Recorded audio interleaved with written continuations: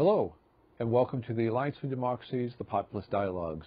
This Populist Dialogues cablecast program's purpose is to advance the mission of the Alliance for Democracy to create a just society based on an equitable, sustainable economy. I am your host, David Delk. Today we will broadcast video of a Pulitzer Prize winning jur- investigative journalist David Cay Johnston, shot when he was here in Portland recently speaking at the First Unitarian Church. David Cay Johnston is author of three books on taxes and tax policy. His first book was Free Lunch How the Wealthiest Americans Enrich Themselves at Government Expense and Stick, it, stick You with the Bill. His second book on tax policy was Perfectly Legal The Covert Campaign to Rig Our Tax System to Benefit the Super Rich and Cheat Everyone Else. And his most recent book is The Fine Print how Big Companies Use Plain English to Rob You Blind, published last year. His topic here in Portland was Rise of the Monopolist Why the Few Get Rich While Your Paycheck Shrinks. He spoke for over an hour, so we're going to bring you two programs featuring David Cay Johnston. So be sure to watch for part two next week.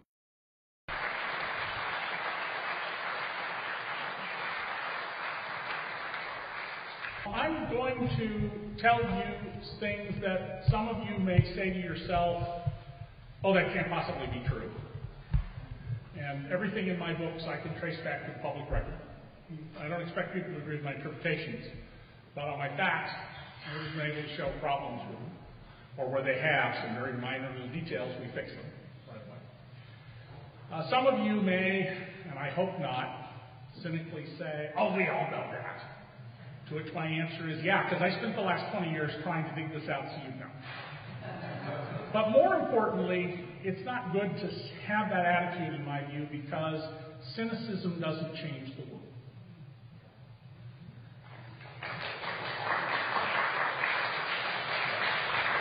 And before I get into the details of this, the most fundamental message I want you to think about is the whole idea of our country whose six noble purposes were written down for us in the preamble of the Constitution, is that we can solve our own problems. We got rid of slavery, which is in our Constitution, without using the word, in at least 12 different ways defense and the support and the maintenance of that awful institution. Women got back the right to vote. Somehow they persuaded men to give them back the right to vote, which they had had in some of the colonies. It took 72 years of hard work, principally by two women Elizabeth Cady Stanton, mother of eight, and uh, Susan B. Anthony. We got child labor laws, even though the Jerry Falwells and Pat Robertsons of 100 years ago went around saying, you are in favor of these child labor laws, you are an agent of the devil, for it is God's plan that these children should work in these factories. But we got child labor laws, and it only took half as long as suffrage. We got really good environmental laws signed by a Republican president. Although if Richard Nixon came back today, I suspect that the current Republican leadership would say, oh yeah, he must be a friend of Dennis Kucinich. so with that, um, I want to tell you that this book is the end of a trilogy. Perfectly Legal, which I came here and spoke about nine years ago, is about the tax system, how the tax system in America really works. We have two tax systems, separate and unequal. One is for most of us. Our taxes come out of our paychecks and our pensions before we're paid. Uh, the government has automated most of it. It's very efficient. The other tax system is for the incredibly super wealthy, many of whom legally live tax free many of whom arrange to pay their taxes in the distant future, and whom Congress trusts to pay their taxes, unlike you, because all of your financial information is verified independently. Free lunch, a lot of which is about Oregon, particularly Bandon Dunes and Portland General Electric and Enron, is about subsidies that go to people at the very top. This book is about the rise of monopolies. It is about what is going on in the American economy. We have a myth, it didn't used to be a myth, but we have a myth in America today that anybody can go into business and do well. and that we are a nation of entrepreneurs and people who want to be job creators. In reality, we are a nation in which the very biggest corporations are getting state legislatures, Congress, and regulators at both the federal and state level to rewrite historic rules of commerce. Some of these rules go back to Hammurabi's time. And what they are doing is seeing to it that you can't compete with them, that they can charge you taxes that never go to the government but stay with them, that will allow them to raise prices even if the economy is falling. Economists call this market power.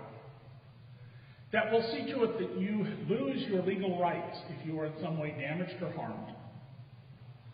And that allow them in all sorts of ways to gain not by building a better mousetrap or providing a better service, but by mining your pockets and wallets and mining the public treasury.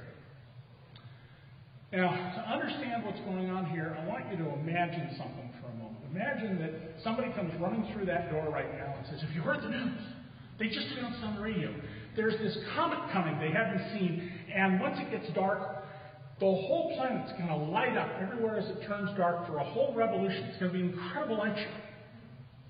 So we don't go, oh, okay, well, the guy better be done before the sun goes down. And when it's over, we'll go outside and go, wow, that's incredible. And we'll go to bed. Years go by. And we suddenly notice, you know, there are certain people, one in a thousand among us, and they're not aging. They don't get sick. They've become immortal. They can get in a crash and bleed out and die, but they're immortal otherwise. And you know, there's another curious thing about these people. They've become amoral. They're not moral. They're not immoral. They're amoral. They'll do whatever the rules say. They're indifferent. And you know, the third, third funny thing about him. You remember the, the this guy you knew who was like Bill Clinton horn dog, and he doesn't care about that stuff anymore. Or this person who was so passionate about art, they don't care about that anymore. Or this person who was like totally into being mothered. All they care about is making money. It's all they think about. They focus on it. They're really good at it. They're making tons of money. Well, if that happened, we would have to change all of our laws of property because they're all based on the principle that there's a human lifespan and people die. Because if we didn't, these immortal people would bit by bit acquire all the assets in the world until they owned everything they wanted to own. The only things they wouldn't own were things that they couldn't figure out how to make money on. Well, we have those immortal beings among us. They're called corporations corporation is immortal. It doesn't get sick. And you know, even if it runs out of money, we have zombie corporations now. We take them through bankruptcy court. We infuse them with cash. If they're too big to fail banks, we see to it that the government loans them money at a very low rate, and then they borrow from the government at a, at a higher rate, and they make money. We prop them up. They are amoral because by themselves, they're not human beings. And all they're about is making money. 2,600 corporations out of the 6 million corporations in America own more than 80% of the business assets. Now, this is not an argument against corporations. We want to have corporations. They are efficient, effective vehicles to create wealth, to encourage risk. They're good things to have. We do not want to go back to the rules of ancient Sumerian. I teach the law of the ancient world in the law school and the business school at Syracuse University now, where if you couldn't pay back your debts, you would be sold into slavery for three years. And in some cases, you, because it was only men who took on debts, your wives, your concubines, and your children will all be sold into slavery. Which, if you think about it, is, and you could do it for three years.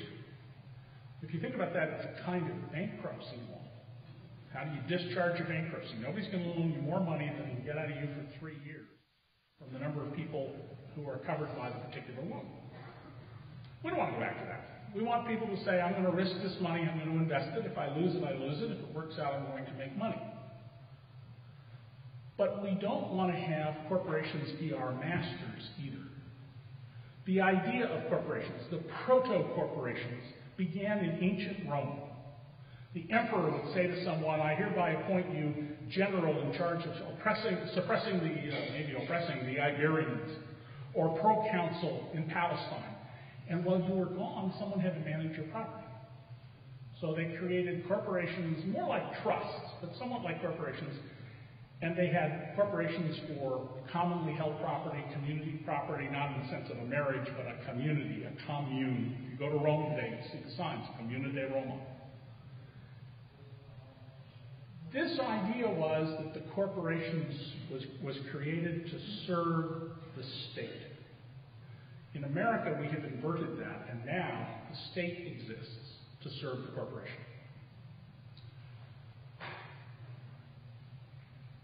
What's happening as a result of this is that these corporations, because they're driven totally by money, they have no conscience except that of their officers and directors, are doing what they're here to do and that's to build up and acquire assets to make money.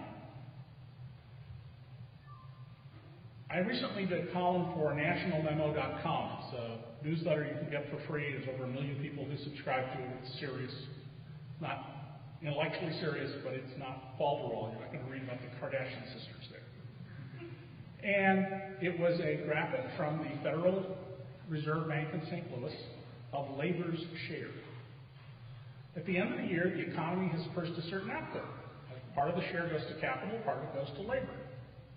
And what that showed over a 60-year period is that labor share went along like this, and then Reaganism came along, and then George Bush came along. Meanwhile, I ran below it corporate profits. Corporate profits go along like this as the economy goes up and down. And they start going like this after Reagan. And then we hit 2010, even if you had a very successful corporation, this was the year to clean up your books, get rid of any bad the books. Nobody's going to notice it. You take care of stuff, you know, just become a pain. They drop like this, like a rock, and then they go right back up to record levels of a kind we have never seen in the history of America. We have gathered up so much money at the top because of the rules that we up until 1986, Congress said corporations could only keep a certain amount of cash. It wasn't defined by dollars, it was what you reasonably need to run your business. If you kept more than that, you paid a penalty tax, a 15% penalty tax. And there are thousands of cases of business people who were taxed by this. But in 1986, in a law that no one wrote about at the time, Ronald Reagan signed a thing that said, asterisk, this doesn't apply if you hold the money offshore. Now, you want to know why Phil Knight takes the tennis shoes they make in Hanoi and while they're on the boat to Los Angeles, sells them to a company in the Cayman Islands and takes all the profits there? This is why. You want to know why Apple takes half of its profits and shifts them to a company in Ireland that is legally resident nowhere in the world, has no employees, and is managed from Cupertino so it doesn't pay taxes. By the way, all that money that's supposedly offshore, it's right here in the United States. The companies send the money to banks in New York, the too big to fail banks, and say, go buy us U.S. government treasury uh, securities. But because the statement says Cayman Islands, Singapore, Ireland, Liechtenstein, Switzerland, that money is not taxed. So let me explain to you that this is how corporations profit off the tax system. Imagine that you bought a house here in Portland 30 years ago, in 1983, at 1983 prices. What's a nice a price for a decent house in Portland in 1983? $200,000 or am I too high? How much? 65000 And what would it be worth today? 500,000. Let's say let's say 65 to 650,000 to make it easy. That's 10 times the figure. So imagine you bought that house in 1983 and you paid the property taxes on it and the insurance, and you cut the lawn, but you didn't make any payments on it all these years. And then this year you had to pay $65,000 with 2013 dollars. You think that deal would make you rich? Without even selling the house, just all those years in the house without paying for it would make you rich. You really paid, by the way, uh, uh, somewhere on the order from 1983 of about 25 or 30 thousand dollars for that house. Well, here's what Apple's done. They have 36 billion dollars of untaxed profits offshore.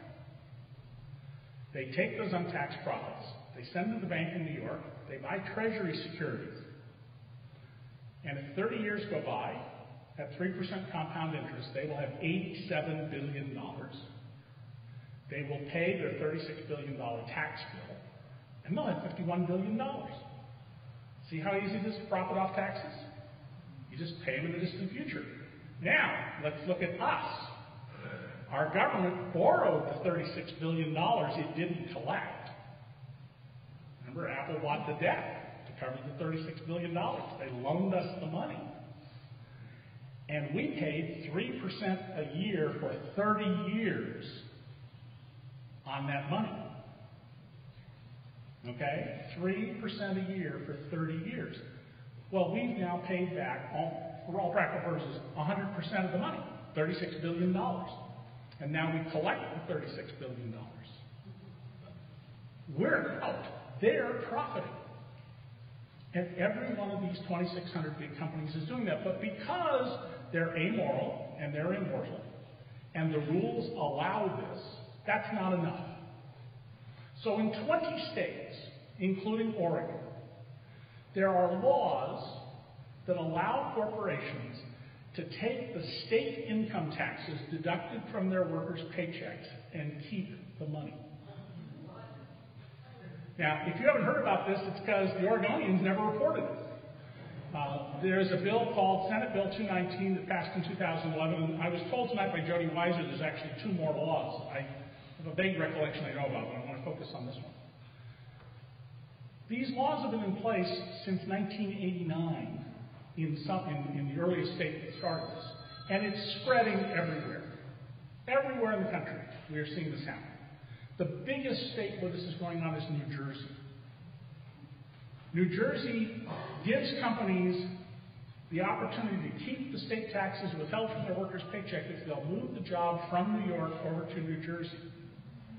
And the problem is, New York and New Jersey have a tax sharing agreement. People work in New York and live in New Jersey, they don't get the taxes anyway. 2,700 big companies have these deals. Basically, every one of those 2,600 companies, plus all the Canadian banks, Deutsche Bank, one of the biggest promoters of tax shelter, fraudulent tax shelters in America, the communist Chinese banks, Electrolux from Sweden, Nissan, Toyota, Honda, Goldman Sachs, they all have these deals. Not at every location, but here and there. And here's how incredibly lucrative these deals are. No state has put limits on these in a serious way or told the public about them. And so in Ohio, where you have the anti-tax conservative John Kasich as governor, General Electric is getting $115 million it gets to keep that are withheld from the taxes of its workers. And it is using that money under their deal, because every one of these is an individually negotiated deal, to refurbish a jet engine factory. They're going to spend $126 million. So the taxpayers are putting up 92 cents out of every dollar. 92% of the cost of this modernizing of the factory. Now, if that factory earns an 8% annual profit on the whole investment, it means that GE makes a 100% annual profit on its investment. You know what the average rate of return in America is for all companies on their assets? 6.7%. They're getting 100%. And it means somebody's kids didn't get new textbooks in school, or the teachers didn't get a raise, or the roads have potholes in them. But hey, if you're a GE shareholder, this is a fabulous deal. And GE, to my knowledge, is the only company that's told its workers what it's doing. Because every one of the laws these states pass make no requirement to tell the workers. You have the taxes withheld from your check. You paid your taxes. The company then gets a tax credit, or in a couple of states, a loan forgiveness. That's the one here in Oregon. Or it gets a, it has to turn the money over and get it back. But those are just the mechanisms. You've paid your taxes, the company gets the taxes from the state. And it is spreading like wildfire. And you know, I first wrote about this in Reuters when I worked for them for a year as their worldwide economics correspondent. In the summer of 2011, I did three different videos about it for them. Not a word in the New York Times where I used to work, not a word in the LA Times where I used to work, not a word in the Washington Post, not a word in the Wall Street Journal, not a word in the Oregonian. Nowhere. I'm virtually alone. There are a few small newspapers around the country where reporters of 50,000 circulation papers have written about it. Nobody knows about this, and that's one of the reasons it's spreading. Now, at the heart of the idea of the American economy is competition. Adam Smith, when he wrote The Wealth of Nations, taught us that in his era, the idea was wrong that everybody was taught to believe, and if you had lived in Scotland in 1776, you would have been raised up to believe the following that the only way the world gets better is through selfless acts of Christian virtue. And there would have acts of Christian virtue because, of course, Jews and Muslims and, and others, they, they don't have virtue. They're not Christians. And Adam Smith said, no, that's wrong. It's markets, competitive markets. The butcher, the baker, and the candlestick maker competing against all the other butchers and bakers and candlestick makers. And with consumers who can make choices about who to buy from, that makes these people become more efficient. And in an effort to become better businessmen and to make more money, it is as if an invisible hand is guiding the market toward a general improvement for all of us.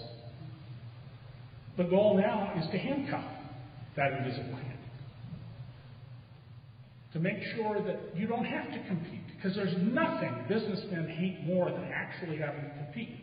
I co founded with my sons a little tiny business. I'm a job creator. 25 jobs, at least for half the year every year. And we manage a hotel on the boardwalk in Ocean City, New Jersey. We don't own it, we just manage it. There are a set number of hotels in town. The island's fully developed. My worst nightmare is somebody figures out how to assemble a large block and builds a big hotel because that would be more competition. We would have to lower our prices and our profits would go down. That's how business people think. They don't want to have competition. Much easier to make money if you're a monopoly. It's real easy to make money if you're a duopoly because people think there's competition. So in 1980 in the United States, we had 37 big railroads. They're classified by the federal government as Class 1 railroads.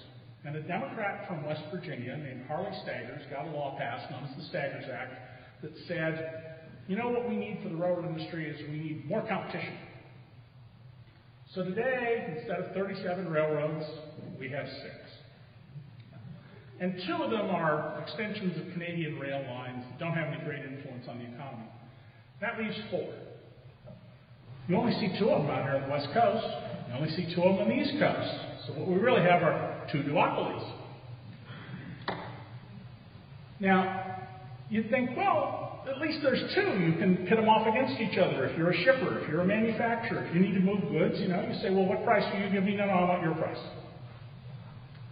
So Lafayette, Louisiana is the capital of Cajun country. My French ancestors, they're from Lafayette, places like that. And in the 1880s, Thomas Edison's financier, J. Pierpont Morgan, would not bring electricity to places he didn't think he could make a lot of money in. So Philadelphia got wired, Atlanta got wired, Lafayette, Louisiana, middle of Louisiana, we're not going there. So the town fathers, and in those days it was the town fathers before the, uh, 19th Amendment, um, 19th, 16th Amendment, voted to create a municipal electric system something you have lots of out here in Oregon. And they own a coal-fired power plant, and they buy coal from uh, the mines in Wyoming. And you know there are two railroads that run from the mouth of the mine all the way down through Kansas and across and come down to banks of the Red River in Lafayette, Louisiana. 1,500 miles side by side. And then for the last 19 miles, there's only one railroad. That's okay. You just pay the monopoly rate for the last 19 miles, right? You get whichever will give you the better deal. If you have to switch lines, you just switch the rail cars and you pay a monopoly rate for 19 miles. No, no, no, no, no, no, no.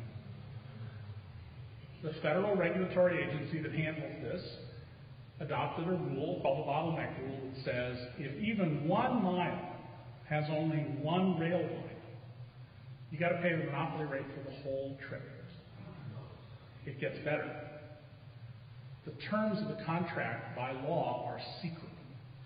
Even though it's a government agency in this case, the Lafayette Utility System owned by the city government, the terms by federal law are secret. And of course, we all know that if anything promotes competitive markets, it's going to a store where there are no prices on the wall, right?